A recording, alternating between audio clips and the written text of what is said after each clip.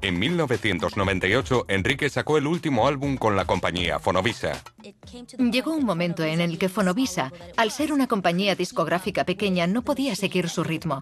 Se estaba convirtiendo en una máquina del pop a nivel internacional. Al igual que su padre, Enrique había empezado su carrera grabando álbumes en español.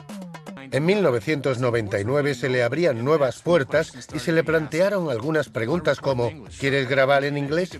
Creo que al principio se resistió a la idea, pero después, conforme crecía su fama, se convirtió en una opción cada vez más real. Aquel chico que había vivido parte de su vida en Madrid y después en Miami, Llegó a un punto crítico en su carrera y decidió intentar algo nuevo. Quería afrontar nuevos retos. Una llamada de Hollywood le dio la oportunidad que necesitaba. Durante la gira de 1998 del álbum Cosas del Amor, el actor Will Smith fue a uno de sus conciertos y se quedó maravillado por la voz de Enrique y por su energía. Así que le pidió que escribiera una canción para su próxima película, Wild Wild West. Enrique se decidió por una canción que ya tenía escrita, Bailamos.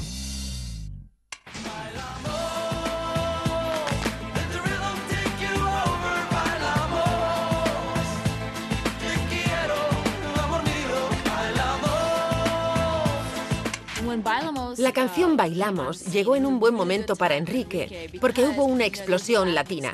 Ricky Martin y Jennifer López llenaban los escenarios. Y existía la idea de que eran los años de la música latina. Así que fue el momento ideal para que Enrique diera el paso. Creo que fue una forma ideal de conectar al público que le había estado apoyando siempre con los nuevos fans que estaba buscando.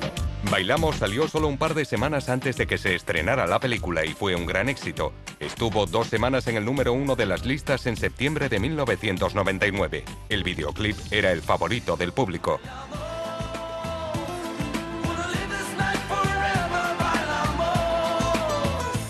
Cuando escuché Bailamos en la radio por primera vez me sentí muy orgullosa. Yo había crecido en Ohio escuchando la música del Top 40 y nunca pensé que habría un número uno con título en español. Pero le gustaba a todo el mundo, desde los 8 hasta los 80 años. Tanto blancos como negros, daba igual el color, la raza o el género. Y eso es muy difícil, gustar a tanta gente a la vez. Todas las compañías que le habían rechazado en el pasado ahora le pedían a gritos que firmara con ellas. Aquello fue una especie de venganza para él. Había una enorme guerra de ofertas. El dinero de las compañías le llovía por todas partes. Enrique consiguió un contrato sin precedentes por seis álbumes y 40 millones de dólares con Universal, que distribuiría sus álbumes en español, e Interscope, que produciría los que fueran en inglés. Era una compañía a la que él respetaba mucho, porque quería que grabara tanto en inglés como en español. Cuando firmó el contrato con Universal, ya estaba listo para acometer otros trabajos que no fueran en español.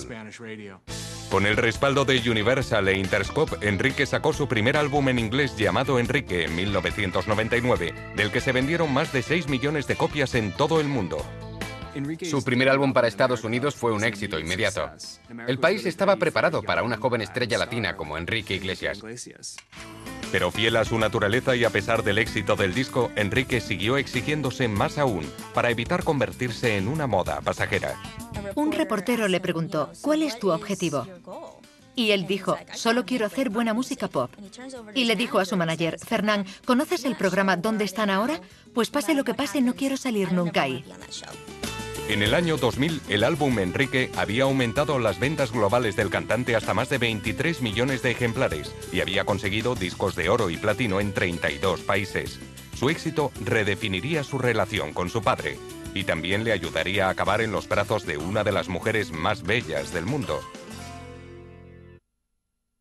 A finales de los 90, el legendario artista Julio Iglesias vio cómo la carrera de su hijo Enrique despegaba.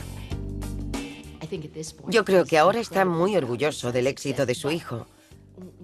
Pero cuando eres un atractivo sex symbol, es un poco desalentador que tu hijo sea un nuevo sex symbol.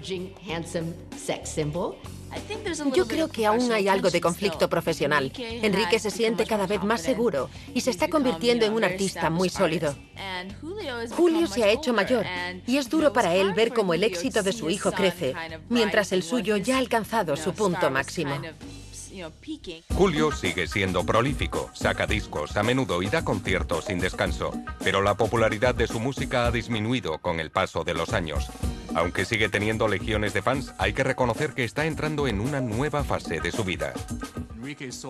Enrique ha vendido unos 8 millones y medio de álbumes en Estados Unidos y su carrera no empezó hasta mediados de los 90. Si contamos desde 1991, el que más ha vendido ha sido Enrique. Aún así, los Iglesias siempre han negado que exista competitividad entre ellos. Yo creo que Julio siempre ha querido superarse, siempre ha querido ser más grande y mejor. Y esa característica también la tiene Enrique. Por eso no es de extrañar que exista esa pequeña disputa entre ellos.